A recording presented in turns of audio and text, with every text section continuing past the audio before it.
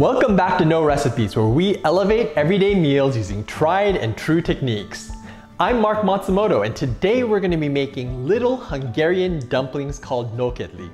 They're a bit like German spätzle, and they go great with a hearty stew like chicken paprikash. They're also a delicious homemade pasta that works well with a wide variety of sauces. Alright, let's get started.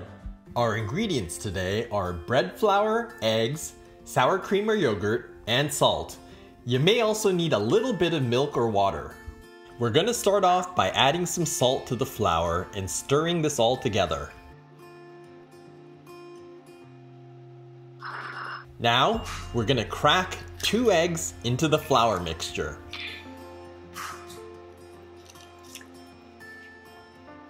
Then we're gonna add the sour cream. My eggs are a bit small and the sour cream is a bit thick, so I'm probably gonna have to add a bit of milk to the dough to get it to the right consistency. Now we're just gonna mix this up until it all comes together into a dough. Let's go ahead and speed that up.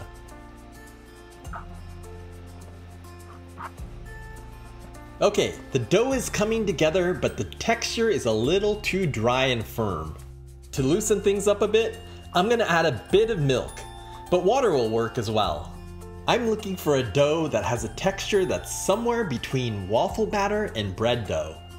When you're adjusting the texture, be careful not to add too much liquid at once because you can always add more if it needs it.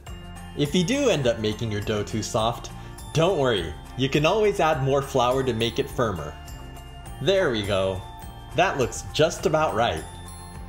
Now all we have to do is shape and boil the nokedli.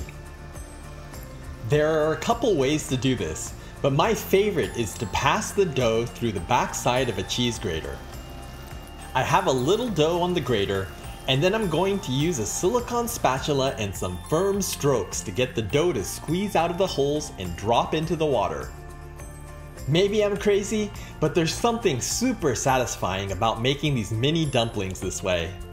If you don't have a cheese grater, anything with medium sized holes like a slotted spoon will work. Another way to make these is to spread the dough on a flat surface like a wet cutting board or in this case, the back of a spatula. Then we're going to use the back side of a knife to cut little dumplings and drop them into the boiling water. Be sure to do this in batches, otherwise the dumplings are gonna get overcooked.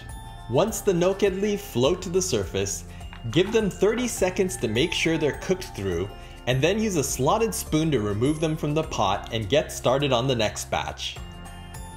Be sure to toss your cooked nokedli with a little butter or olive oil to keep them from sticking together. These easy little dumplings make for the perfect side for a rich stew like chicken paprikash, but they can also make for a quick homemade pasta that you can throw together in minutes.